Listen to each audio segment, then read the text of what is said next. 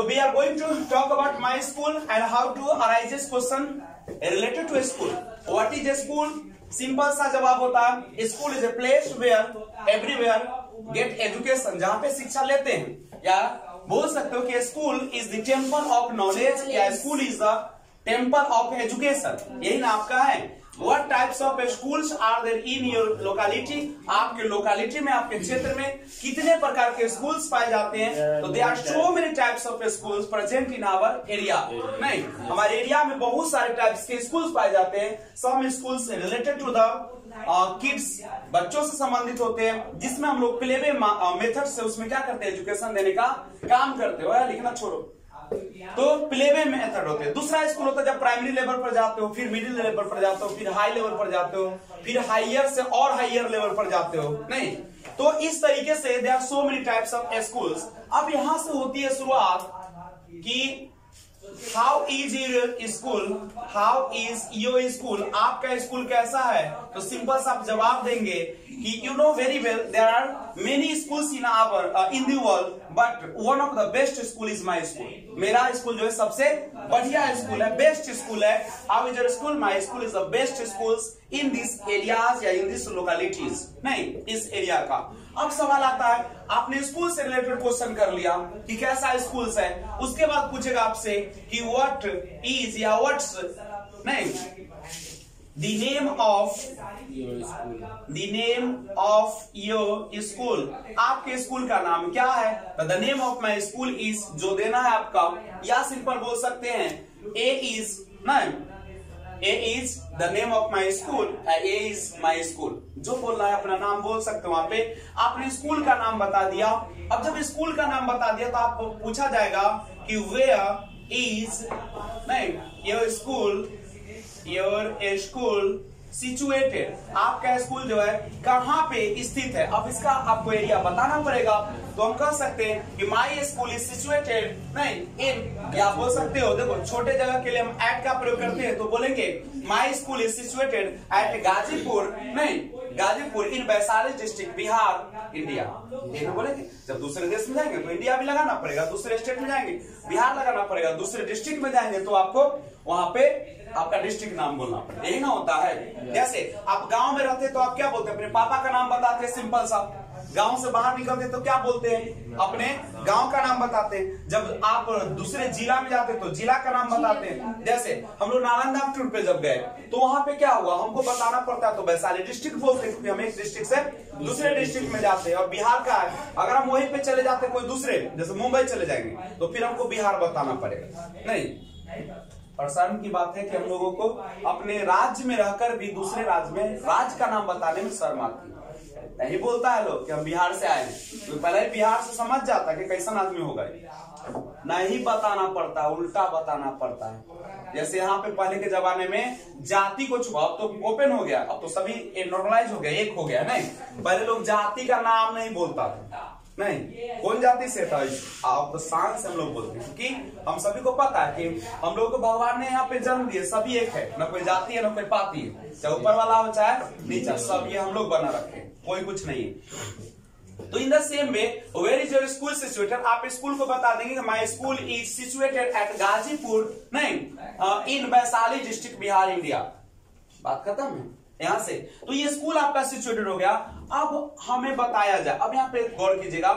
अब एक क्वेश्चन है कि what are the facilities what are the facilities in your school अब यहाँ पे गौर कीजिए। अब यहाँ से क्वेश्चन डाल दिया क्या क्या फैसिलिटी क्या क्या सुविधा है? तो आप बताएँगे ना कि बोल सकते हैं आपके स्कूल के बारे में बोलना है तो my school has many kind of facilities many types of facilities बहुत तरह के फैसिलिटीज़ है। अब क्या क्या फैसिलिटीज़ है? तो आप बता सकते हैं कि it has a playground एक प्ले ग्राउंड है वहाँ पे बच्चे को खेलने के लिए। नहीं it is a playground या एक बार में सब लगा दो। इट हैज़ प्ले ग्राउंड है उसके बाद हम बता सकते हैं कि एक गार्डन भी है।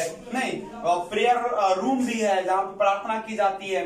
प्रेयर रूम के बाद एक ऑफ़िस है। उसके बाद बोल सकते हो कि पेरेंट्स मीटिंग के लिए एक स्पेशल रूम बनाया गया है। बच्चों को एक ऐसा हॉल बनाया गया है, नहीं, या बोल सकते it has a big hall to meet every student जहाँ पे सभी स्टूडेंट आकर एक साथ मिल सकते हैं। नहीं, उसके बाद और क्या बता सकते हो?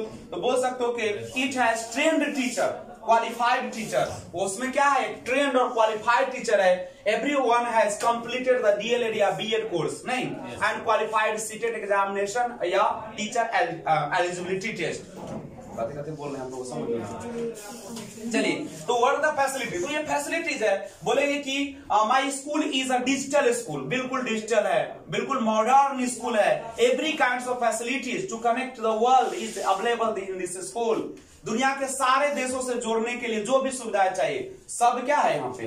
मौजूद है। इतना ही नहीं। आप बताएँगे कि my school has not only qualified teacher न केवल एक क्वालिफाइड प्रशिक्षित शिक्षक है बल्कि बोल सकते हो कि also a good discipline is there वहाँ पे अच्छी क्या है? डिसिप्लिन भी है।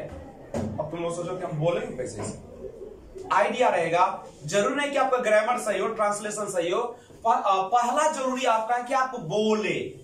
समझ रहे हमें नहीं जानते कि आपने क्या बोला, लेकिन हम ये समझ रहे कि अंग्रेज़ी निकल ले। जैसे इमेजिन कीजिए कि आपके घर में कोई बच्चे का जन्म हुआ है, बच्चा दो साल का हो गया है नहीं, और बच्चा बोलना शुरू करता है तो क्या वो ग्रामर सही बोलता है? क्या हिंदी में वो सही बोलता है कि वो जाता है कि जाती आपको बताता है? नहीं बताती है बस, नहीं। कोई भी बेबी जो होती है या होता है, वो नहीं बता पाता है। वो सिंपल क्या करता है? सामने वाले को देखता है, कानों में आवाज़ आती है, नहीं। वही बोलना शुरू करता है, मम बोलता है, पानी बोलता है, नहीं। प्यास बोलता है भूख बोलता है ऐसे नहीं बोलता है। पूरा सेंटेंस नहीं बोलता है शुरू में। लेकिन धीरे धीरे धीरे क्या हो जाता है? अच्छा बोलने लगता है। क्या हम लोगों ने कभी भी हिंदी का पूरा ग्रामर है हिंदुस्तान के लेकिन क्या कभी भी हम लोगों ने हिंदी का पूरा ग्रामर पढ़ा है? नहीं पढ़ा। क्या हम लोग जब यूज़ करते थे पूरा ग्रामर पर रूल बना बना के करते हैं क्या? नहीं करते लेकिन हम लोग कर पा रहे हैं। क्यों कर पा रहे हैं? बिकॉज़ हम लोग इस इन्वायरमेंट में सबसे बड़ा चीज़ होता है इन्वायरमेंट वातावरण। अगर आपका इन्वायरमेंट सही नहीं है तो आप बर्बाद हो जाएँगे। इन्वायरमेंट सही है तो आबाद हो जाएँगे। दुनिया में सबसे बड़ी खराब चीज़ है एडवाइस देना किसी को। नहीं। खुद बनो दूसरे को बनाने का प्रयास मत करो। तुम बन जाओगे दुनिया बन जाएगी। इसीलिए स्कूल दूसरे का शिकायत मत करो। अपने स्कूल की खामिया को दूर करो आगे निकल जाओ। समझ रहे हो बात को? तो आपको अब सुविधा है। अब देखिए यहाँ पे आप स्कूल की फैसिलिटीज़ की बात कर लिए। क्या आपकी सुविधाएँ हैं? नहीं। अब क्या क्वेश्चन आ सकता है? अब यहाँ से अब एंट्री मार रहे हैं अंदर। नहीं। अब बोल सकते हो कि how many students how many students and teachers your school. How many students and teachers are there हमेशा आर देयर का प्रयोग ज़्यादा करता है लोग। इन योर स्कूल आपके स्कूल में क- कितने शिक्षक और स्टूडेंट्स है? तो सिंपल देयर आर से प्रयोग करेंगे।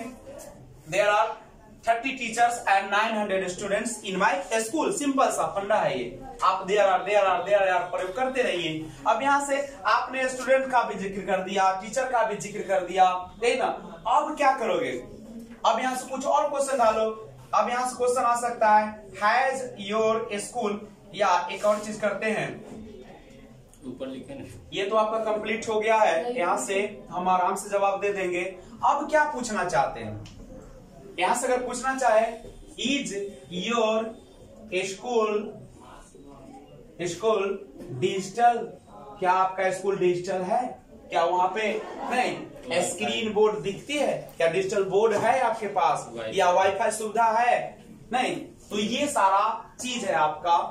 अब यहाँ पर देखो, बोलने के लिए अनंत चीज़ें हैं स्कूल पर। कुछ भी समझ में ना there are there are there is there are there is there are अगर वन का प्रयोग करना तो देर इज़ का प्रयोग करें, और ज़्यादा का प्रयोग करना तो देर आर का प्रयोग करना लेकिन मेरे बोलने से ज़्यादा फ़ायदा होने वाला नहीं है, जब तक आप नहीं बोले। करेक्ट है? माई स्कूल आप लोगों का रेडी होगा। सब लोग ट्रांसलेट कर लिए होंगे। ये है कि ना कल वाला?